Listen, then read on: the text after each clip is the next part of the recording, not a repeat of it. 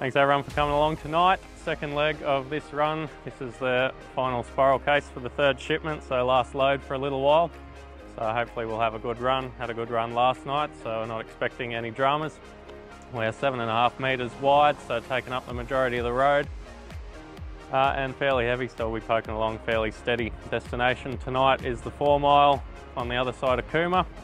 Anticipating we'll get there about 5, 5.30, all going well.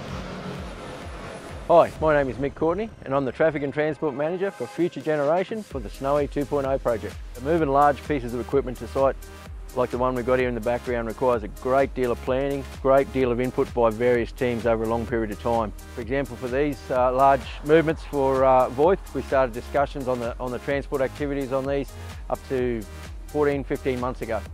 Uh, we'll be pulling up at Eaglehawk when we get there to meet up with the AFP for their escort through Canberra as well as you're all aware.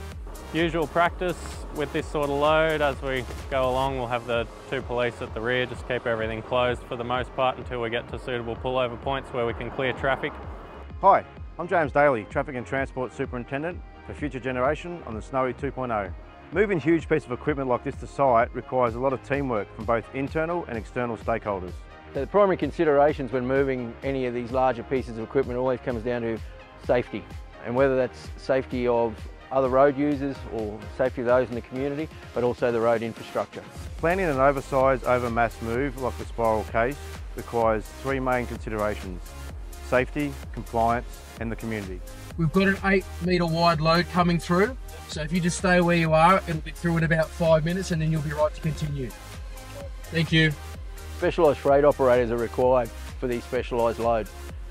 Seven and a half metres wide, over 60 metres on the road, two prime movers pulling, one pushing, not any ordinary load that you see on the road any day. Oh, OSM loads like this one will travel over three nights from Port Kembla to site. We travel at night to ensure minimal road disruption to other road users. Drivers are also required to take mandatory rest fatigue breaks. It's the last leg of this load, it's the last load for a recent shipment, so last one for a couple of months. I had a good run the last couple of nights, so expecting the same tonight. Obviously had a bit of rain throughout the day, so the road will be a bit wet, so we'll just take it easy. So the challenges of the route is so different from down at Port Kembla through the Hume Highway, where you're on a, a highway with other trucks, uh, 110 kilometre hour zones, up through the windy mountains, up here in the Kosciuszko National Park, till we get to our end location down at Lobbs Hole. It's a real buzz when loads like this get to site, reaching their final destination and knowing that you've been involved in this, moving some of these items for this iconic project and they've been delivered safely with minimal to no interruptions to other road users in the community.